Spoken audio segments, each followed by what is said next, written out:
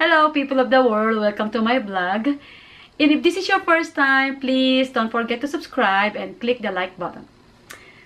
So today po, I'm very excited uh, to share with you guys kung ano-ano yung Korean skincare na nabili ko sa Ross.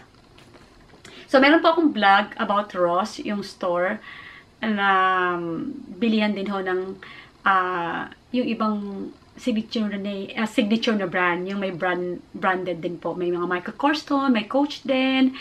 Uh, anyhow, excited po ako i-share sa inyo itong aking uh, uh, nabili uh, sa Ross na mga skincare Korean. Usually, guys, yung skincare Korean kasi, uh, dito sa lugar namin, um, wala akong masyadong makita kung saan bibili. Um, meron, kung meron man, talagang masyadong mahal. Kasi, maganda yung, para sa akin maganda yung, ano nila, yung mga product nila. Maganda yung skincare. Kasi, na-try ko na yung ibang produkto nila 2 years ago.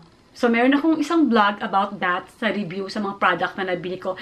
And guys, this is only on my own um, what you call this, this is only yung sarili kong um, experience na ginamit ko yung product. Pero itong mga product na i-share ko sa inyo, dalawa pa lang yung nagamit ko dito, tsaka one week ko pa lang nagamit kasi naubos ko na yung, yung ibang product na nabili ko 3 years ago, yung, uh, 2017 yung nagpunta ako sa sa Korea. Tapos kung hindi niyo pa napanood yung vlog ko dun sa Korea, medyo magulo ang pagkakuha ko, pero panoorin niyo po, i-link ko na lang dito sa ano, sa taas. And then guys, Itong lahat ng product na nabili ko, don't worry about yung mga brands. Ipapaki kasi ililink ko naman dito sa below sa description para kung gusto nyong hanapin or kung gusto nyong tingnan sa online. So, let's go. Uh, number one product ko, uh, ito guys, never heard ko kasi yung uh, name, yung brand na to. Pero apparently, may pinanood akong mga vlog na ito pala, uh, one of the top brand din sa Korea na, na, na product kasi yung nagpunta ako doon, ang mga product lang na nabili ko, yung mga Innisfree, Laneige, I don't know if I pronounce this right there, Laneige, tapos um, a Skin Food, tapos Misha. So yun lang yung mga product na, na narinig ko, tsaka yun lang yung parang tiningnan ko sa mga vlogger na pinapanood ko. Anyhow, let's, let's go to this product. Ang product na to, ang nakalagay ay CL IV si Clive, kung ano kung alam niyo yung pronunciation yan, lalapit ko ng konti para makita niyo yan. So, nakalagay dito guys, of course, let me tell you how much. Ang bili ko dito is $7.99. So, $8. So, of course, plus tax. Yung tax is 9.25. So, kayo na bahalang mag, mag, ano kung magkano. Let's say na lang na, ano to, parang $9. Kasi yung tax, oh. Anyhow, ito, ito yung price nakalagay. Yan. O, oh, yan guys. 7.99.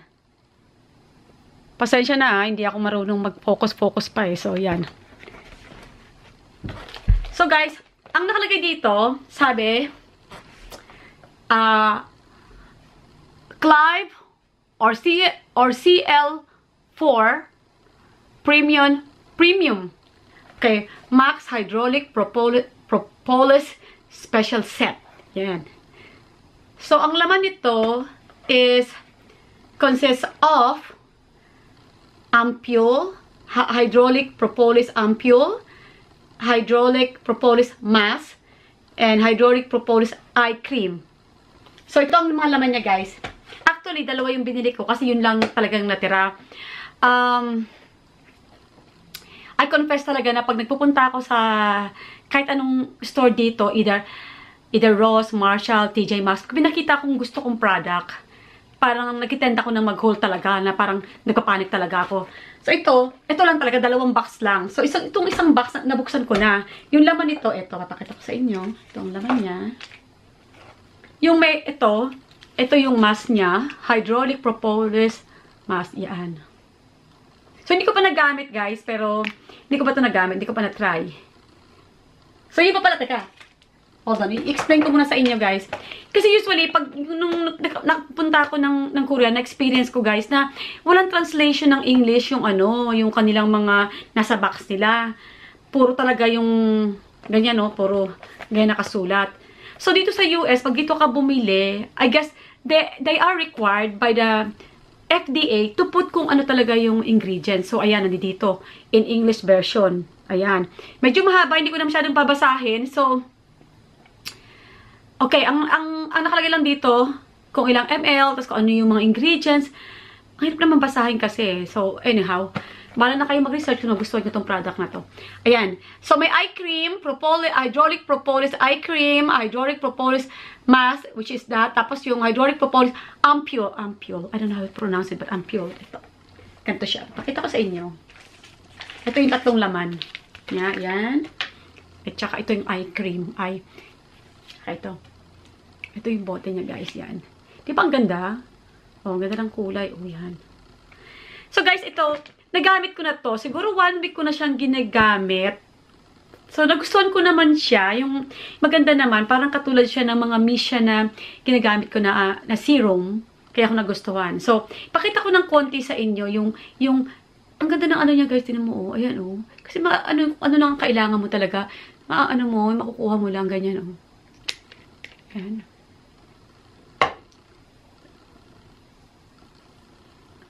Tapos parang unti-unti siyang natutuyo sa skin mo. Oh, unti-unti siyang nag parang ina-absorb ng skin.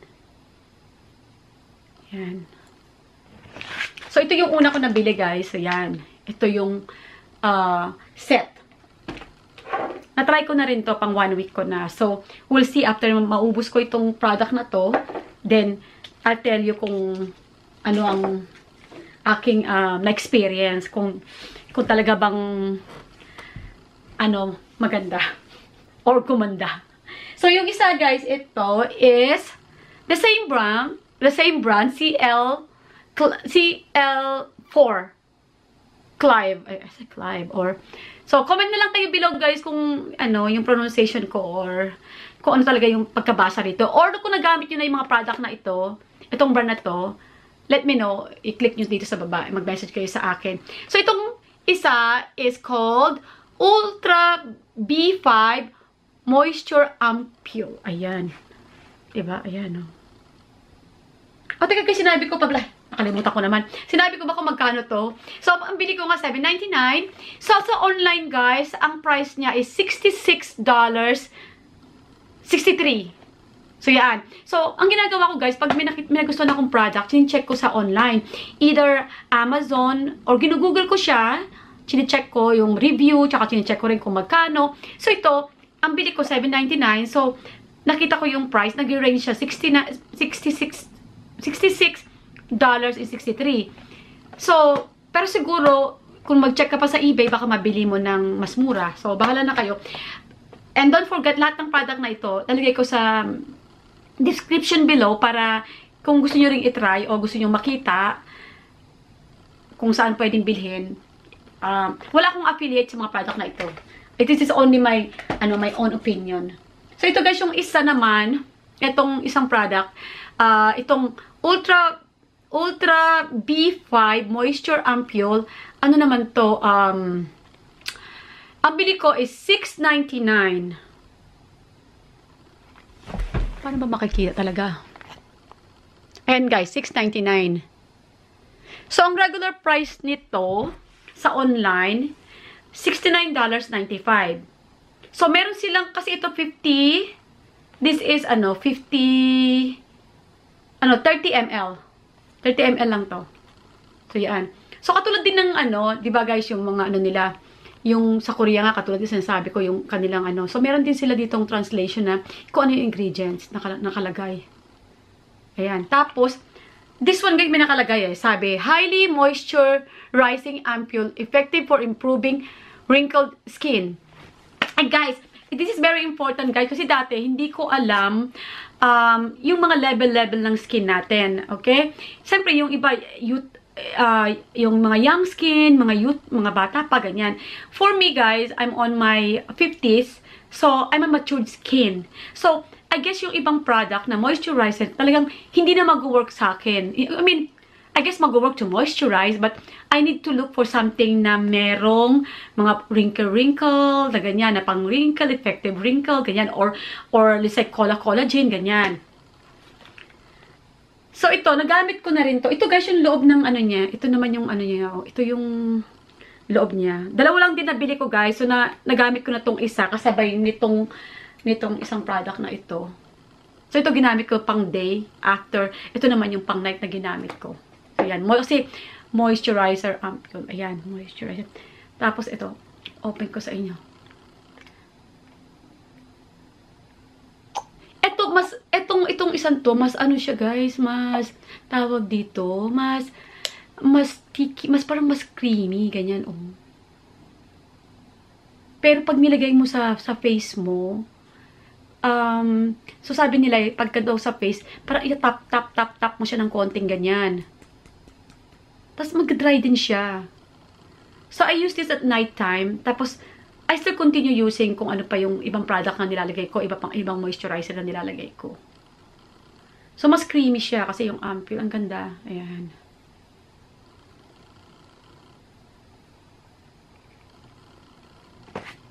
So, ito yung pangalawa. Tapos yung itong, itong nabili kong isa pa, ito namang isa is, isa lang nabili kong siyang box. And that's it. Pumunta na ako sa tatlong store, wala na talaga. So, ito is a Clive Den CL4 Collagen Resurgence Laser Ampule. Ayan. Hindi ko pa siya, guys, na, na ano, na buksan. Tsaka hindi ko pa nagamit. So, ito naman is, yan guys, $6.99. Yan, $6.99. Yung regular price niya sa online is $36.99. So, yun. So, the same thing, uh, this is ano, 50 ml. 50 ml. So, yung kalagay dito guys sa labas. Um, so, hindi ko pa nagamit. So, later on, I will keep this. I'll make a note of kung kailan ako nag-start. Nakalagay, uh, concentrated firming ampule with resurrection plant callus culture extract for wrinkled to wrinkled and elastic skin. O, di ba? Ito 50 ml.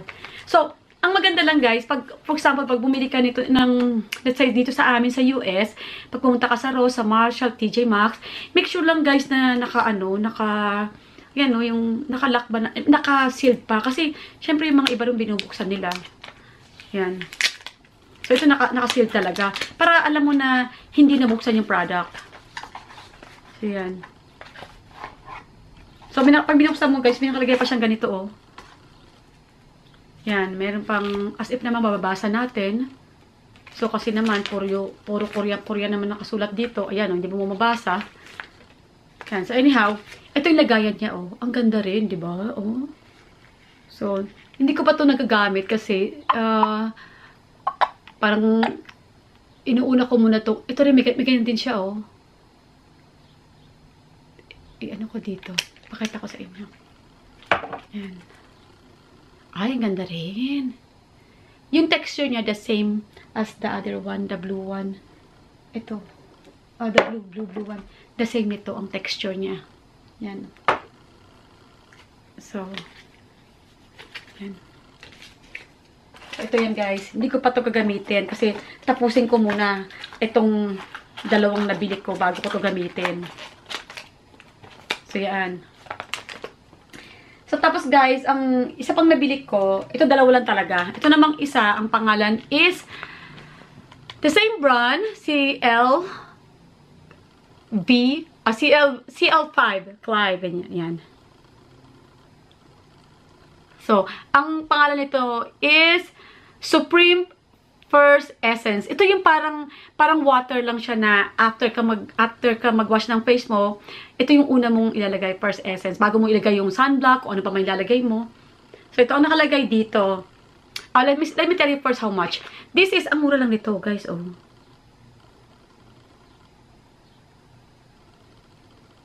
Ayan. 5.99 guys. So, ang presyo ng bili ko, 5.99. So, ito lang talaga, dalawa lang. Ang presyo niya sa online is, ililink ko yung, ano ah, yung, yung saan ko nakita. 39.99 guys, walang biro. Grabe, kaya nga parang excited talaga akong bumili. Excited ko talagang bilhin lahat. Kaso lang wala na. Kung whatever, kung ano lang yung nakita ko dun sa, sa parang, ano nila, parang shelves, yun, that's it. So, ang sinasabi, ito, ang sinasabi nito dito, Ah, ito rin, meron din siyang translation kung ano nakalagay, and English nakalagay, yung ingredients. So, for those people na particular sa mga ingredients nandito, guys, kailangan haba-haba, hindi ko na masasabi lahat. Hindi ko na mababasa lahat. Ang hirap basahin. Pero, ayan. Pero nakalagay dito, ah, Supreme First Essence. Concentrated essence that enhances elasticity and improves skin radiance by optimizing skin condition. O, di ba? Ito madami, uh, 180 ml. So, ito, ito guys, naka, naka ano din, ayan o, naka, naka sealed pa, pero open ko na lang kasi gagamitin ko naman to. Pag natapos ko na yung, so far kasi yung ginagamit ko yung first essence ko, yung, yung Misha ginagamit ko. So, papakita ko rin sa inyo kung ano yung ginagamit kong Korean product. Yan. Guys, ang ganda ng lagayan, oh. Diba, social? Oh, ayan. Meron pang, may met, ano, may medic, ano ito, may parang may metric, ano pa, kung gano'n na karami na gamit mo. So guys, ang ginagawa ko, pag meron ako nakitang product, um, uh, inahanap ko rin siya sa, sa YouTube. Tinitingnan ko yung mga review. Apparently, some of this product, eh, ano, konti lang ang nagre-review. Kung meron man, mostly Korean or mostly, ano naman, Thai naman. So, hindi ko, hindi mo maintindihan. Pero meron ding English na nag, nag ano, konti lang. Wala pa masyadong nag-review. So, kasi nga pag dito sa US, ang hirap din hanapin itong mga product na to eh. Kung bibili mo talaga sa online. And then, for me as a mom na medyo frugal ako sa mga ano ko skincare ko. Um, well, not frugal, pero matipid lang talaga ako yung kung, kung talagang yung gusto ko na product talaga, yon don't mind spending. Pero pag yung tinetesting ko pa lang, so, hindi ako masyadong nag spend Dahil, ito nakita ko lang sa online na medyo na mahal, tapos ang mura lang dito. So, kaya ako binili. So, guys, dalawa na bili ko. Yun. Ayan. So, watch out kayo sa uh, after, I guess after 3 months, after na finish ko itong mga product na to, eh sabihin ko sa kanila sa yung experience ko. Tapos ang next product na nabili ko, ito. Ay, ito muna, unahin ko muna to. Ito, ang pangalan niya ay uh, Jeju N. Jeju N. Ayan, Jeju N, ang brand. Ayan. Ayan, guys. Tapos ito yung brand niya, oh. Oh, baliktad ba? Yan. Niligay ko na yung price ko magkano sa online. Ito guys, ang bili ko is, how much is it? Yan. $5.99. And guys, sa online, you know how much? $45. So, I don't know kung accurate yun, pero tingin ako sa mga website. And, um, kasi I guess, pag o-orderin mo pa to sa Korea or kung saan man. So, yun yung nakita kong price.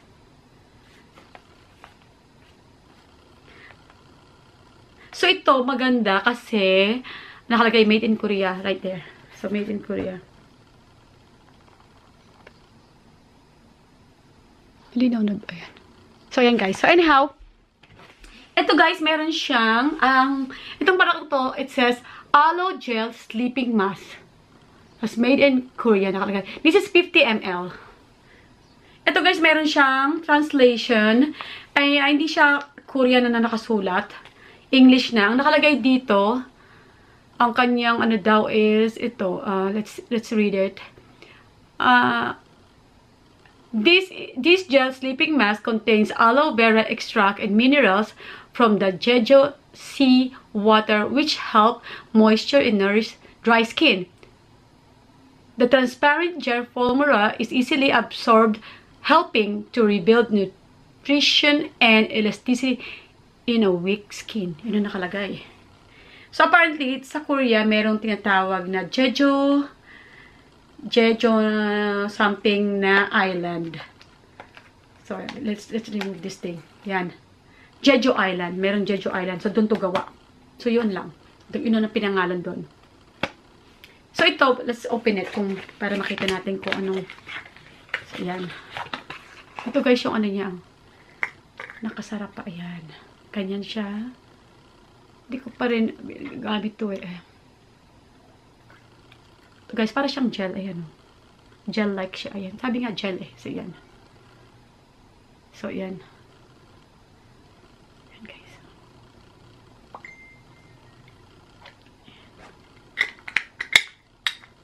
Ayan ano lang. Ito yung isang. And then, itong pinakahuli, guys. Dito ako pinaka-excited kasi um, I was watching the vlog na sinabi na ito raw product na to is one of the top skincare product in ano, in Korea at saka basta sa Asia. So, ang pangalan nito is, matagal, actually matagal na to sa Asia. So, medyo late na ako ngayon ko nakita. Ngayon ko lang, kasi 3 years ago lang ako nag-start sa mga Korean-Korean product ko, skincare ko. So, ang brand nito is BRTC. And then, ang kalagay, Vitalizer, Vitalizer, Vital, I don't know, Vitalizer Whitening Capsule Cream. Yun daw. Okay. So, ayan, oh. Siya, guys. Ang ganda ni girl dyan, oh, di ba? Kung ganyan, maging ganyan ang skin natin, di ba? So, ito yung ano niya. May award-award pag to, guys. Sabi, oh. K-Beauty. Sabi, K-Beauty bestseller. Oh. Anyhow. So, si girl, ayan, oh. Meron pa siyang, I don't know kung sinong artista yan. Ayan. So, ang price nito is, dan, dan, dan, 5.99 finally, na, alam ko na kung paano i-close up ng konti. 5.99. Sa online, guys, 67.30 sa Amazon. So, yun. So, nakasealed siya. Altogether, nakasealed talaga. Tapos, katulad din ng ibang Korean, mostly ng Korean product is, ayan, puro ano-ano naman nakasulat dyan. Pero, nilagyan nila ng English translate, ng English ingredients.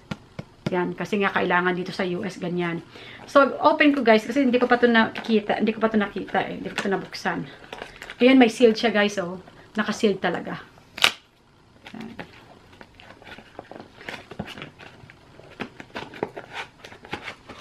Open ko. So guys, dalawa pa yung box niya. Pagkatapos ng isang box, mayroon pang isang box, di ba? Oh. Sabi raw dito, oh, ano, patent ingredients upgrade. So, hindi ko alam kung ano ibig sabihin nun, guys. Pero, multi, sabi, V10, o multi, multi-vital 10 system. Baka multi. Sorry guys, nag, nagkusang turn off tong aking, tong aking, ano, camera. Anyhow, ito guys, um, ito yung product. BRTC Vitalizer Whitening Capsule Cream. Yan. So, sinabi ko na yung price. Nabili ko ng 5.99 sa Amazon 16,730. Um, ililink ko lahat dito para makita nyo. Yun. So, ito, binuksan ko na siya yung kanyang ano, kanyang box. Grabe guys, ang social ng box, oh, diba? Oh. Social. Ay. Tapos meron pa siyang little scoop-scoop, oh. Meron pa siyang little spatula dito. So, ito guys yung lagayan, oh. Ayan yung lagayan niya. Ang ganda, di ba? Oh. Whitening, whitening. So, medyo may obsession ako sa whitening eh. Ito guys, ano, 50 ml. Yan, tingnan natin. Mahilig ako guys sa mga ano eh, sa mga collagen. Yan. Oh, kayo. May mga, yung capsule niya, yung mga maliliit, maliliit. At let me see. Kuha ako ng konti para makita niyo. Yan. Sorry guys, nahulog. Yan. Pakita ko sa inyo. Guys, guys, pag nakita nyo siya, parang meron siyang maliit na parang mga capsule-capsule. Oh, napaka-rich niya. Hindi ko alam kung paano ko di-describe, pero ayan guys, so para siyang, parang merong nagmi-melt na ano, na maliliit na tawag doon hindi ko alam, para meron siyang malilit na ano, tapos nag, nag ano siya, nag, pag, pag minix mo, para siyang merong mga little nanunal, ayan, oh. ayan. So, we'll see. Ito, watch out for, ano dito, for aking review. So, ayan guys, nilagay ko muna sa kamay ko para hindi masayang lang. So, i-balance ko na lang, pati itong isang kamay. So, ang ganda ng ano niya guys, ng lagayan makita mo talaga na yung gumawa ng product na to is talagang ano nila nakalagay dito oh. Bi bio remedies therapeutic cosmetic oh ganyan-ganyan pa sila. Tapos skin irritation test completed oh. Ganyan-ganyan pa. So guys disclaimer lang nga, yung lahat ng product na to, kung may sensitive ang skin nyo, huwag kayo basta-bastang gumagamit. Kasi ako, apparently, at least, hindi, yung skin ko, hindi sensitive eh. So, hindi ako madalas, uh, hindi ako gaano nagkaka-pimples or ano. Pero pagka, um, alam kong parang, ano, parang magkakaroon ka ng itchiness, guys, stop nyo na yung paggamit. Yun lang. Kanya-kanyang, ano lang, discretion lang. So, ito. Grabe guys, hindi na pinabuksan. Ang dami pa, ang dami pang box. So, lalagay, nakalagay pa sa kanyan, oh. Hindi ko alam kung paano to. Hindi ko na maibalik. Yan. So, here you go. Ito na guys. Ayan. Hmm, teka muna, doon akong salamin, hindi ko makita. So, yun lang guys. Thank you very much. So, sa lahat ng nagtatanong tungkol sa product, ililink ko sa below. Paulit-ulit na ako. Pero ililink ko doon. Papalagay ko doon sa baba. And again, thank you very much for watching my vlog. And um, keep on dreaming and see you next time. Bye!